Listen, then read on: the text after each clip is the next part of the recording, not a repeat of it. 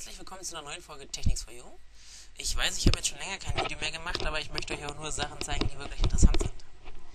Und eine Sache, die ich noch auf meiner Liste hatte, war Online-Briefmarken ausdrucken. Und da ich jetzt selber wieder Briefmarken brauchte, dachte ich, ich mache das am besten gleich mit euch zusammen. Dann habe ich das auch erledigt. So, wo findet man jetzt am besten Briefmarken? Natürlich unter post.de. So, das ist die Startseite und hier unten gibt es so eine Rubrik Briefmarken kaufen. Und was wir wollen, ist die Internetbriefmarke sein, die sich klicken wir jetzt rauf. Und dann kommen wir auch schon auf dieses Bestellformular. Das sieht so ähnlich aus ja, wie ein Warenkorb, steht ja hier auch. So, hier kann man jetzt auswählen, praktisch, ähm, für was man die Marken haben möchte, also normale Briefe. Ne? Oder man kann natürlich auch Paketscheine ausdrucken zum Beispiel. Oder eben, was ich jetzt aber nicht machen werde, man kann sich auch eigene Motive für die Briefmarken überlegen und dann eben so ausdrucken. So, ich möchte aber für ganz normale Briefe das haben, dann mache ich jetzt hier auf Briefe. So, das einzige, der einzige Nachteil an diesem Online-Ausdrucken ist, dass man immer mindestens für 10 Euro bestellen muss. Also heißt, man kann natürlich auch sagen, dass man 10 Marken nur bestellen möchte, dann hat man einen Wert von 5,50 Euro. So, wenn man jetzt so weitergeht und die Bestellung abschließt, werden einem 10 Euro abgebucht, zum Beispiel von PayPal. Man kann zum Beispiel mit PayPal bezahlen oder auch, glaube ich, per Bankeinzug. Allerdings werden euch dann 4,50 Euro auf das Kundenkonto von der Post gut geschrieben. Also dass man beim nächsten Mal dann zum Beispiel auch mit dem Guthaben, was man jetzt auf dem Konto hat, also auf dem Kundenkonto, bezahlen kann. Ja, aber es werden auf jeden Fall 10 Euro abgebucht. So, aber weil ich ja sowieso immer mal die Briefmarken brauche, sage ich, ich möchte gleich Neues haben. So, wenn man jetzt aber zum Beispiel mehrere verschiedene Marken, also zum Beispiel auch für Großbriefe haben möchte, klickt man einfach nochmal auf Briefe und dann kann man noch mehr bestellen. Dann sage ich jetzt zum Beispiel, ich möchte jetzt hier so einen Großbrief meinetwegen fünf Marken für Großbrief. Ja, dann habe ich jetzt hier fünf Stück. Und hier unten rechnet er dann zusammen. Jetzt könnte ich aber zum Beispiel auch sagen, ich möchte jetzt nur meinetwegen na, vier. Ja, das reicht nicht ganz. Sage ich mal, ich möchte jetzt fünf Standardbriefe und fünf Großbriefe, dann komme ich auch genau auf 10 Euro. Das würde auch gehen. Hauptsache, dass der Gesamtpreis dann mindestens 10 Euro sind. Hier kann man zum Beispiel auch ein Motiv dann auswählen. So, aber die brauche ich jetzt nicht, darum mache ich die jetzt wieder weg. Und man kann natürlich immer so weiter. Man kann jetzt hier auch noch meinetwegen Paketscheine hinzufügen. Ne? Dann sammelt sich das halt immer so weiter an. So, das brauche ich alles nicht, darum lösche ich das jetzt erstmal wieder raus. Das hier auch. Und ich sage, ich möchte jetzt 19 Briefmarken zu 55 Cent. Wenn ich das jetzt habe, dann gehe ich auf Weiter. Dann zeigt er eben hier nochmal eine Übersicht an. Ne? Gesamtpreis von 10,45 Euro. Was ich immer noch mache, ja, die E-Mail-Adresse angeben, damit man eine Bestätigung bekommt. Das ist, ich weiß nicht, der Stern, das muss anscheinend sogar sein. Gut. Dann kann man jetzt hier auswählen, ähm, mit was man bezahlen möchte. Ich nehme PayPal, na gut, Bankle äh, Bankeinzug gibt es wohl nicht, aber man könnte auch noch dieses GiroPay zum Beispiel machen. Aber gut, ich denke mal, PayPal wird dann die meisten interessieren.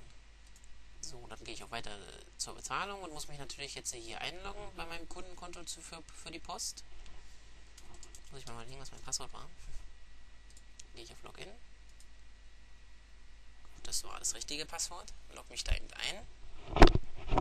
Jetzt sieht man hier, hat er mir jetzt hier nochmal 15 Cent abgezogen, die ich noch auf meinem, ähm, na, auf meinem Postkonto hatte sozusagen.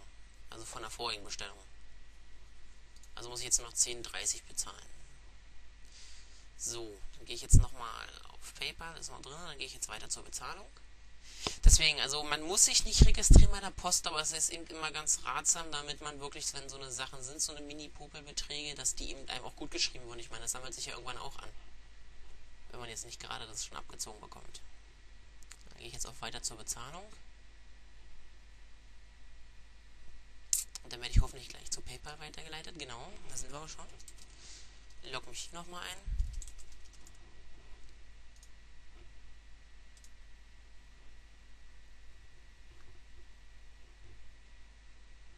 Ja, das dauert jetzt einen kleinen Moment. So. Dann sehen wir eben hier nochmal 10,30 Euro von meinem Konto.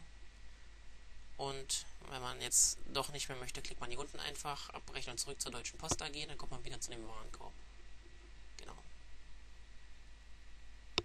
gehe ich auf Jetzt zahlen. Und dann kann ich mir die hoffentlich gleich ausdrucken.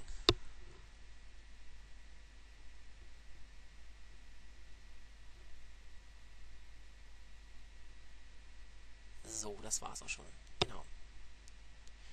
Hier ist jetzt ein ganz normales PDF-Format. Ne? Hier unten kann man sich sonst den Acrobat Reader runterladen. Und dann gehen wir jetzt einfach hier rauf, können die jetzt entweder erstmal auf Computer speichern oder gleich öffnen. Ich öffne die einfach mal.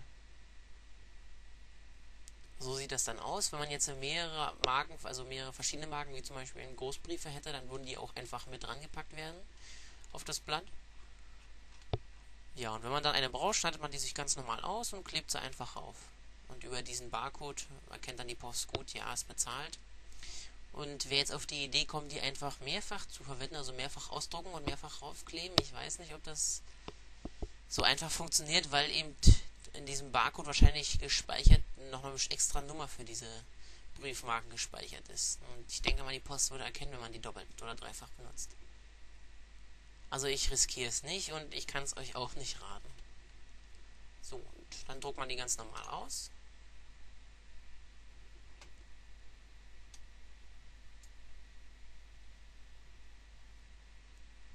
Dann haben wir es auch schon erledigt. Ja, der Lieferschein, gut, das ist, muss man jetzt nicht ausdrucken, das ist nochmal wie so eine Bestellbestätigung praktisch und man bekommt, nicht wundern, man bekommt sowieso in zwei, drei Tagen nochmal einen Brief von der Post, wo dann eben nochmal die Rechnung aufgeführt ist. Ne? Jo. Gut, und das war es eigentlich schon. Ich hoffe, ich konnte euch damit helfen.